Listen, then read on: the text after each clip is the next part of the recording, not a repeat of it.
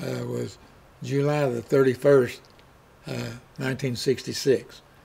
We'd run a race at uh, Nashville, Tennessee on Saturday night. And uh, I think me, David Pearson, and uh, Wendell Scott jumped on a little plane and they flew us back to uh, Danville. And so we'd go down to the racetrack. Never seen the race car, didn't know none of the people, never been in a, on a road course in my life, you know, any of that kind of stuff. And uh, so uh, I think we went out and practiced a little bit. Uh, David didn't even make it through practice. He crashed his car before the race even started. And uh, so, you know, we had a, a Plymouth Barracuda and uh, was running against, I guess, Mustangs or whatever. And uh, so, you know, we start the race. It's one of the, I think it was a three hour race or something. I supposed to drive a while. I think they had another driver to drive the car. And uh, so, anyhow, jump in there and I go racing with these guys. And uh, I think I spin out two or three times, get stuck up. I think I run, you know, 10 or 12 laps or something. Finally got stuck up or tore the car up all to pieces. But I was trying to keep up with the Mustangs. And when finally got out of the car, I was doing, I thought, pretty good job keeping up with them.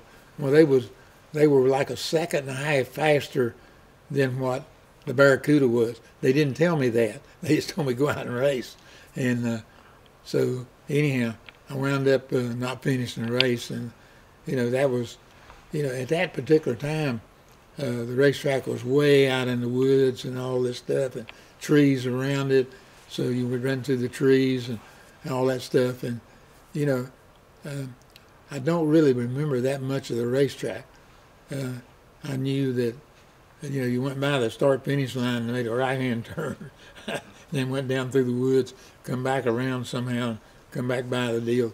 So I, I guess basically it's the same track, I guess, now that it was then.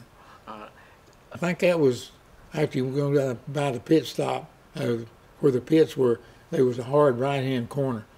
And, and then I think it went all the way, I think it made a curve. I think it went around and came back. And then there was another corner there that went back to the left. I think I made it to there. I think I think I wound up running off there two or three times. Uh-huh. Uh-huh. Yeah. From the time I I seen it, it was in the woods. Okay, now uh, when I drive in there, it looks like going to a country club. You know, I mean everything's manicured. The, the track was always okay, but they've cleaned out around the racetrack, got the trees trees out of the way.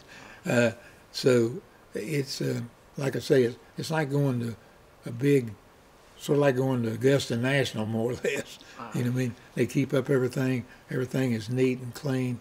Uh, the racetrack's still the same, but everything around it, uh, I don't know, just gives you a different atmosphere uh, from a spectator standpoint, even from the driver standpoint.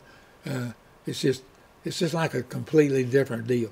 In other words, it went from 74 to what it is today you can just sort of throw away all the everything except the racetrack. Mm. Everything else is. VIR has been really, really good with working with Petty's Garage. Uh, they've been really good with working with uh, Victory Junction Camp for chronicling seriously ill kids that we got here in Level Cross.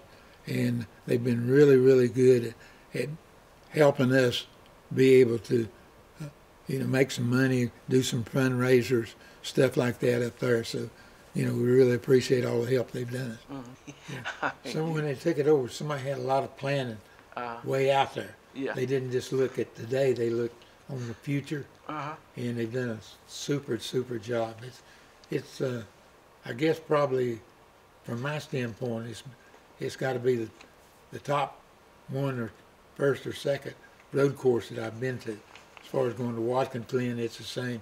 You go to uh, Sonoma, it's been you know, they've done change, but it's still the same thing. You know, uh, the only one I guess that's any probably any nicer is the one they got in Birmingham. I, I, but that's all brand new stuff. Uh-huh. You know, they spent millions and millions of dollars to to make that a Augusta deal. You know what I mean? Yeah. And uh, so I'd say VIR is not very far behind that. Uh-huh. Yeah.